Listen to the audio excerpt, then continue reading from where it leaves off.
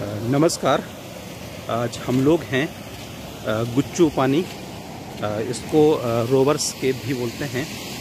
तो सबसे पहले आप यहाँ का व्यू देखिए। मैं आपको कुछ चीज़ें यहाँ पे सबसे पहले इन्फॉर्मेशन दे देता हूँ। यहाँ पे जो टिकट है उसका जो कॉस्ट है वो जो मूल्य उन्होंने निर्धारित कर दिया है पहले पच्चीस रुपये लग, लगता था अब पैंतीस रुपये कर दिया है। ट्वेंटी फाइव से लेकर थर्टी फाइव कर दिया है इन लोगों ने पैसा। और अपना अगर गाड़ी लेकर के आप आते हैं तो उसका बहुत अच्छा खासा ये लोग पैसा यहाँ पे वसूलने लगे हैं। हम लोग रोवर्स केव के दरवाजे पर पहुँच गए हैं और सबसे पहले आप यहाँ का इन्वायरमेंट देखिए। भीड़ देखिए आप यहाँ पर, बहुत ज़्यादा है। ये देखिए, हम लोग यहाँ से, ये जो केप शुरू होती है वो यहाँ से होती है।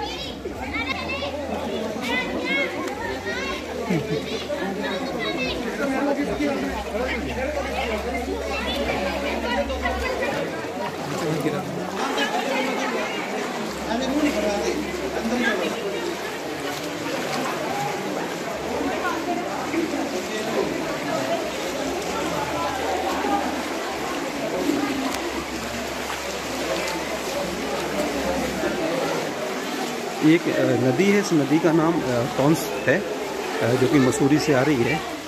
और ये नदी बनाती है रोवर्स केव। ये देखिए आप लोग। आपको सारी चीज़ें दिख रही होंगी। ये एक अब अ, अपक्षय का एक सिद्धांत है। जिसमें क्या होता है? बिलेन जिसे सॉल्यूशन बोलते हैं अगर कोई क्षेत्र चूना प्रधान है और उसके अंदर से कोई नदी प्रवाहित होने लगे तो वो धीरे धीरे क्या करते हैं उस क्षेत्र को अ, उस क्षेत्र के जो अंदर होती हैं जो कोमल चट्टान जिसमें चूना होता है उनको घोल देती हैं और कठोर चट्टानें यथावत बनी रहती हैं। तो जो रोवर स्केप का निर्माण किया है वो इसी प्रक्रिया से हुआ है। यानी कि चूना प्रधान क्षेत्र था। यहाँ की जो कठोर चट्टानें हैं, वो तो खड़ी रह गई और जो इसमें चूना था, वो घुल करके नीचे बैठ गया और इसी वजह से इसका निर्माण हुआ है और इसी वजह से इसको रोवर्स इसी वजह से ये जो संरचना है, ये कास्ट स्थल कृति, यानी चूना प्रधान जगह पे निर्मित हुई है और ये देखने में ऐसा लगता है कि बिल्कुल हम गुफा के अंदर जा रहे हैं। इसलिए ने रोवर्स गुफाएँ भी बोलते हैं। अ, कहानी ऐसी थी कि पहले बोला जाता था कि अ, इस क्षेत्र में अ, जो भी देहरादून के अंदर डाकू थे लुटेरे थे वो आते थे और पुलिस से बचने के लिए यानी ब्रिटिश काल में पुलिस से बचने के लिए वो इस गुफा के अंदर घुस जाते थे और फिर पुलिस वालों को वो मिलते नहीं थे। इस वजह से इसका नाम रोवर्स के पड़ा था अब थोड़ा सा अंदर की ओर चलें। आप पेंट को थोड़ा सा आप ऊपर ज़रूर करिए वरना आप पूरी तरह से भीग जाएँगे। इस संरचना आप देखते चलिए। थोड़ा पानी की कमी है लेकिन संभल के ज़रूर चलना। अगर आप मोबाइल वोबाइल लेके आ रहे हैं तो संभल के ज़रूर चलिए। और चप्पल में आए जूते में ना आए वरना अ, नहीं तो आपको यहाँ चलने में बहुत ज़्यादा दिक्कत होगी। चप्पल पे आइए और नहीं है तो बाहर दस रुपये के हिसाब से चप्पल मिल भी जाती है। लेकिन आप अगर चप्पल पे आएँगे तो ज़्यादा बेहतर रहेगा। या अपनी गाड़ी पे स्लीपर ज़रूर रखें, ताकि आप जूते उतारें और उसको अंदर रख दें और फिर बाहर चप्पल आप उसे लें और फिर उससे पहनते हुए आप आ सकते हैं। ये देखिए।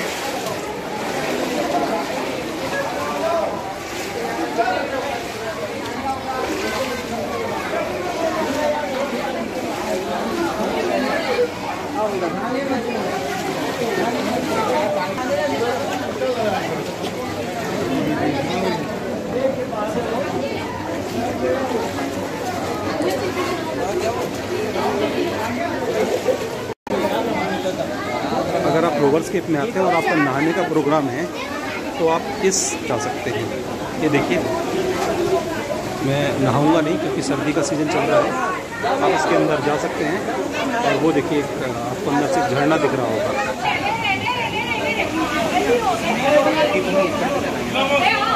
ये देखिए, अगर आप नहाना चाहते हैं तो आप यहाँ आ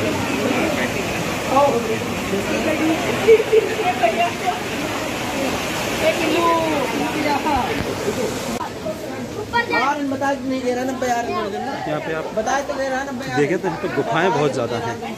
देखिए एक गुफाएँ नीचे की ओर एक गुफाएँ ऊपर की ओर है। और मैं आपको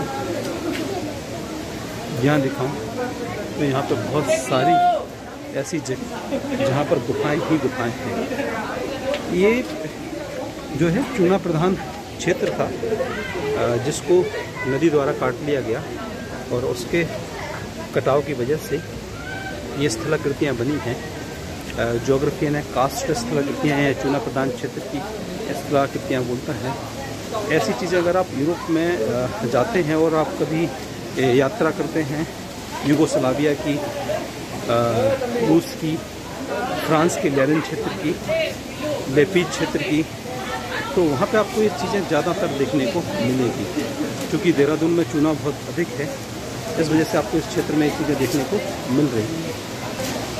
देखिए, ये एक प्रकार की अंधी घाटी है और यहाँ पे आप देखिए पानी गिर रहा है। इस वजह से यहाँ पे आप जाए यहाँ पे आप गर्मियों में आए तो ज़्यादा अच्छा है, क्योंकि आप यहाँ पर नहा भी सकते हैं। लेकिन जब लोग आते हैं गर्मियों में तो पार्टी करने के लिए, नहाने के उद्देश्य से आते हैं। तो हम थोड़ा सा अंदर जाके आपको दिखा रहे हैं। ये देखिए, आप इसके अंदर आना संभल के पैर ज़रूर रखिए। अगर आप मोबाइल या कैमरे से इसकी फ़िल्म कर रहे हैं तो आप संभल के पैर रखने की ज़रूरत है। क्योंकि आप निकल गए तो सकते हैं ये देखिए, ये पीछे की ओर पानी और ये आपको आगे दिख रही होगी। ये गुफाएँ हैं पूरी। यहाँ से लगातार पानी गिर रहा है। ये देखिए। ये गुफाएँ हैं और यहाँ से लगातार पानी गिर रहा है। अगर आप ऊपर देखें तो जो लोग इसके पीछे जा रहे हैं तो वो ऊपर से गुजरते हैं। और अगर आप नीचे जा रहे हैं तो आप यहाँ से नीचे जा सकते हैं। नीचे एक छोटा सा झरना बना हुआ है। काफ़ी बड़ा झरना, उसकी आवाज़ भी आपको आ रही होगी। तो ये देखिए, लोग ऊपर की ओर जा रहे हैं। एक झरना आपको यहाँ भी दिखेगा। ये देखिए, नीचे की ओर एक झरना है। तो अगर आप इसमें जाते हैं तो भीग सकते हैं। ये देखिए ऊपर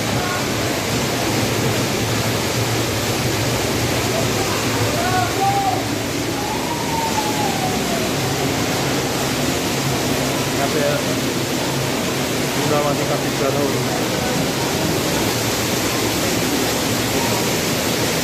ये देखिए एक झरना ये है।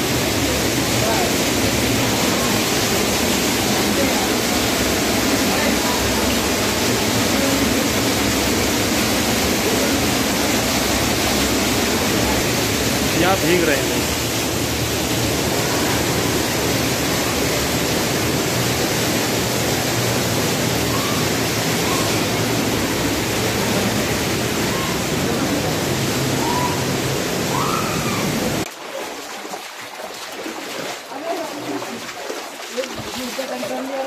ये लंबा है जितना बढ़ते जाएँगे आपको वैसी संरचना।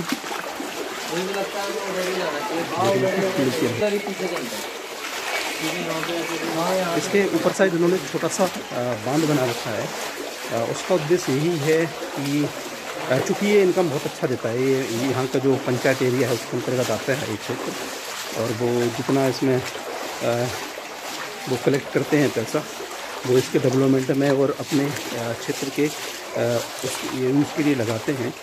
तो इसलिए इन्होंने इसके ऊपर थोड़ा सा बाँध बनाया हुआ है क्योंकि अगर कुछ समय बाद ऐसा लग रहा है जिस तरह से आपको कुछ समय बाद ऐसा लग रहा है जिस तरह से आपको नीचे इसका पानी दिख रहा होगा बिल्कुल कम होता जा रहा है। ऊपर से नदी जहाँ से आता है वो भी स्रोत सूखने शुरू हो गए तो प्रॉब्लम ये खड़ी हो जाएगी कि ये बिल्कुल पानी नहीं बचेगा यहाँ पे। में में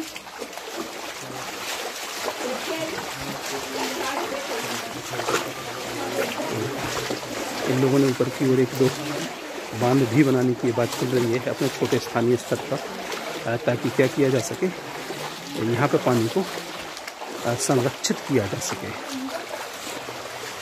पानी संरक्षित करने का उद्देश्य लगभग वही है कि इस क्षेत्र में ये जो टूरिस्ट प्लेस है, इसमें पानी की सप्लाई बनाई बनाई रखी जा सके।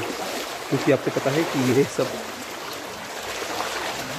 जल है तो ये पर्यटक स्थल है।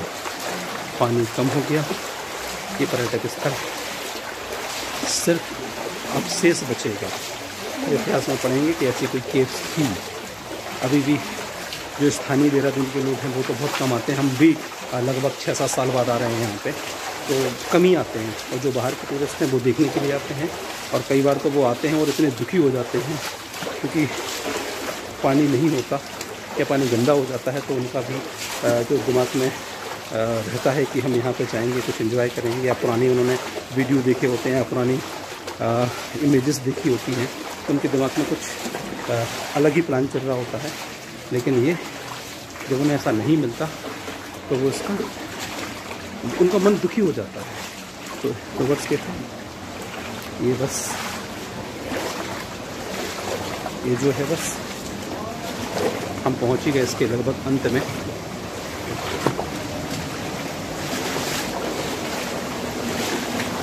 ये इसका।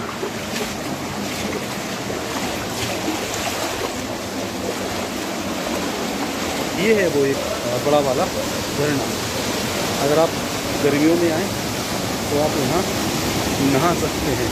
तो कई बार तो क्या होता है लोग यहाँ नहाते हैं, उनके ऊपर बड़ा सा पत्थर गिर जाता है। ठीक है तो ये देखिए, सबसे बड़ा जो है ना, ये पर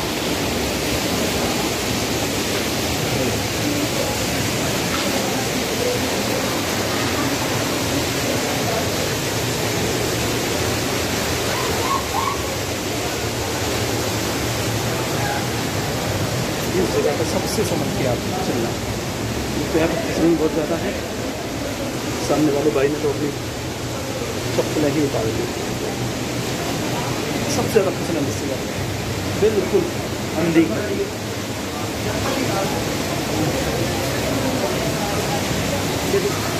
इसके बाद आप सीधे पहुँचेंगे।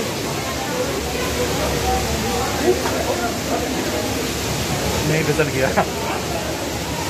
सही कह रहा हूँ चप्पल उतार ली चढ़ते समय भी प्रॉब्लम नहीं जाएगी सबसे ज़्यादा प्रॉब्लम जाती है उतरते समय रोवर्स केव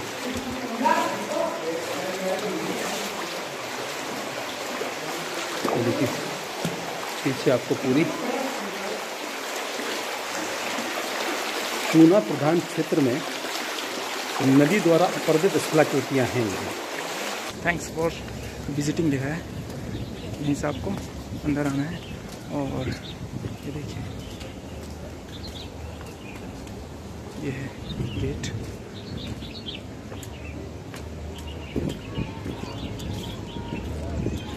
ये आपको काउंटर मिलेगा। ये काउंटर है, यहाँ से आपको टिकट लेनी है और यहाँ को आपको प्रवेश करना है। देखिए वेलकम टू कुछ गुच्छुपानी रोवर्स कैब लिखा हुआ। और साथ में आपको मैं ये दिखा देता हूँ। अदर जो टूरिस्ट प्लेस हैं, ये देखिए, माल डियर पार्क है सजदारा है एफ़ आर आई है, तपो टपकेश्वर है, ये देखिए, मसूरी लेक है, बुद्धा टेंपल है, ये ऋषिकेश, धनौल्टी, सारा इसमें दिया गया है और किलोमीटर भी साथ में दिखाया गया है।